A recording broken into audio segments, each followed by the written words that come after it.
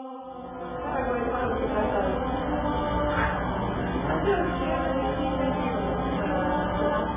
film ends abruptly. But no matter what the outcome of the encounter was, the brief shot of this priest with a half-dressed woman in his room is damaging enough to guarantee his future assistance in the surveillance of Villot's activities. Certainly in the near future, the Illuminati-controlled KGB agents will begin looking for ways to manipulate Villot himself. Once that is accomplished, they will be extremely close to the very heart of the Catholic religion, Pope Paul VI. But it appears that the Illuminati was not content with exerting only influence to control the Vatican. They sometimes resorted to murder. Since the founding of the Illuminati, a number of officials have died at the Vatican under highly suspicious circumstances, including three popes.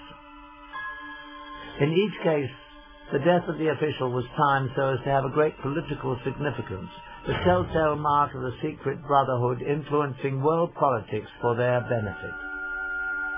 In 1939, Pope Pius XI was poised to release a statement condemning both the Nazis and the fascists, groups doing the kind of evil that the Illuminati would be behind. But before he could make the public statement, he suddenly died. A close assistant, Cardinal Tisserant, was heard to repeat again and again in French, They have assassinated him! They have assassinated him! His body was quickly embalmed, making an autopsy and proof of cause of death impossible. In 1978, it seemed the secret brotherhood might again be using murder to manipulate the papacy. Paul VI suddenly died. Admittedly, he was frail, but the sudden worsening of his condition seemed all too convenient to many observers. However, this time, the Illuminati architects got a result they probably were not expecting. A pope who would be at odds with them. John Paul I. Almost immediately after he took office, the new pope showed a great deal of independence. It seemed that John Paul had a special distaste for the corruption he had seen was rampant in the Vatican's finances.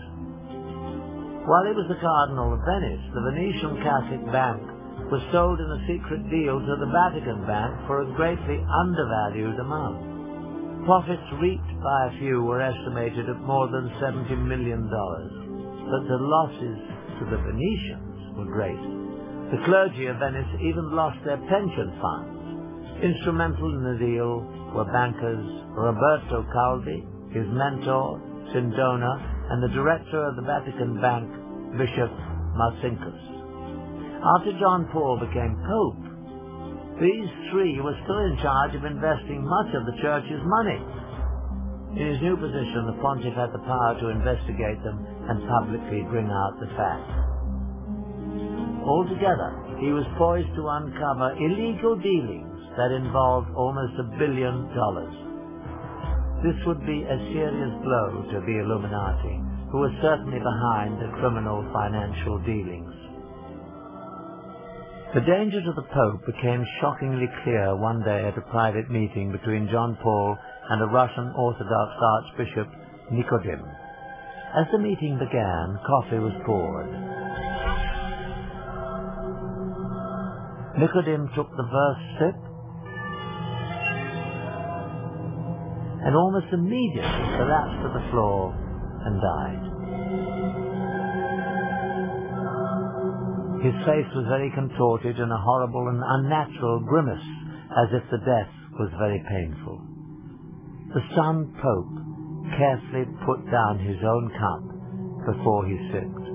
Certainly it came to his mind that the coffee must have been laced with poison that was meant for him.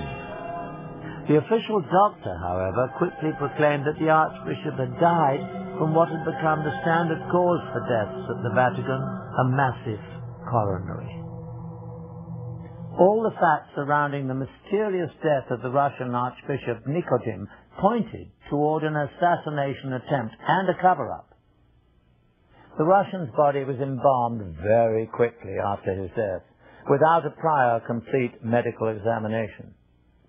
After the embalming, it would be impossible to perform an accurate autopsy to determine the cause of death, particularly if it involved poison. Also, the coffee the Archbishop drank was never collected for analysis, and no forensic investigation was ever carried out.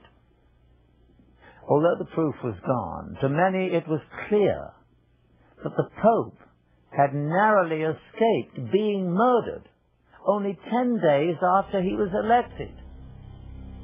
The experience proved so frightening that John Paul called a secret meeting with his top four cardinals to discuss the situation. The meeting took place on September 28, 1978. Only the four cardinals and the Pope were in the room. To this day, it is not known exactly what was said, but afterwards, the Pope was moved to take action. He ended the term of Cardinal Villot as Secretary of State. This was the same Cardinal Villot whose assistant had been blackmailed in the KGB films taken in 1972. Over the six years, this cardinal must have also been drawn into the Illuminati's web.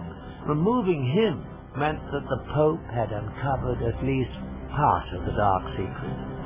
But even John Paul could not avoid his fate at the hands of the Illuminati. That night the pontiff retired earlier than usual and took with him detailed notes of the secret meeting to deliberate upon.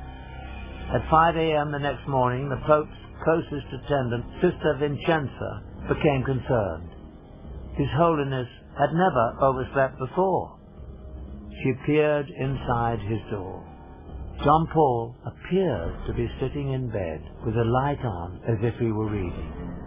Various papers were around him. But to her horror, his face was frozen in the same agonized contortion she had seen on the face of the dead Russian Nikodim only days before.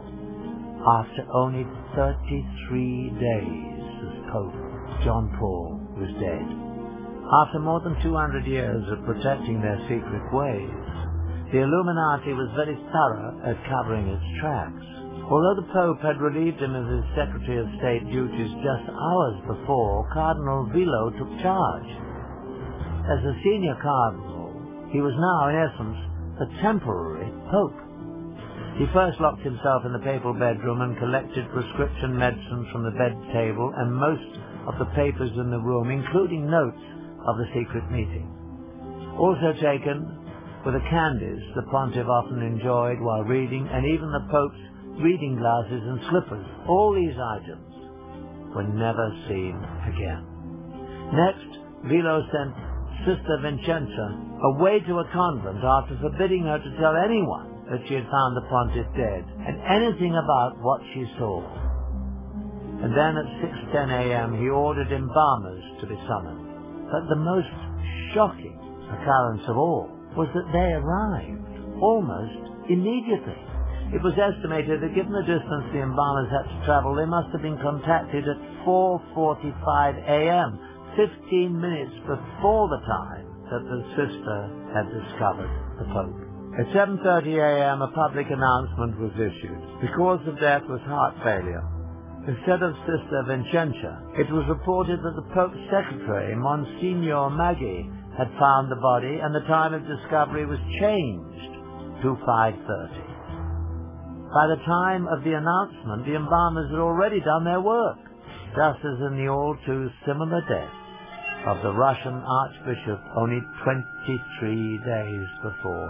Any possibility of a 100% accurate autopsy was eliminated if foul play was involved in the death of John Paul I, the chance to prove it was conclusively gone forever.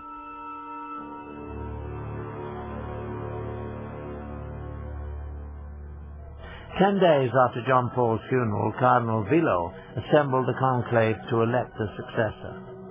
The official electing body includes 111 cardinals, once sequestered in the Sistine Chapel, the cardinals must invoke the power of the Holy Ghost to guide them to their decision.